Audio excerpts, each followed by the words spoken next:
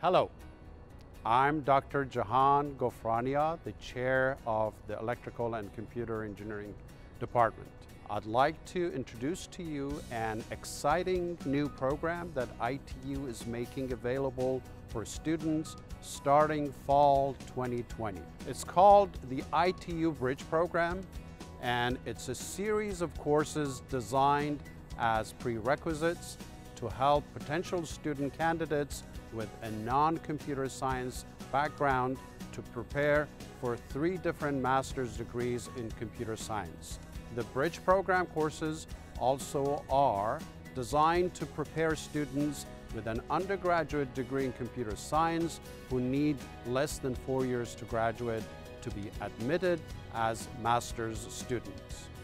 The three programs that the Bridge program prepares students for are the Masters in Computer Science, Software Engineering, and Information and Cybersecurity programs.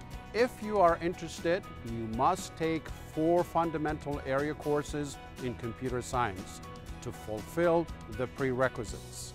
The courses are Principles of Database System, JavaScript Programming, Java Programming, Principles of OS and Distributed Systems. You can see more information on these courses in the Fall 2020 ITU catalog. If you believe you already have competency in any of these areas, you can register and pay for a challenge or placement exam.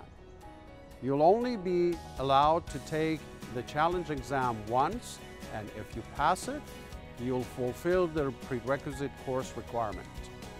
The Bridge program and exam schedules are on ITU's website. Stay safe and I hope to see you in class.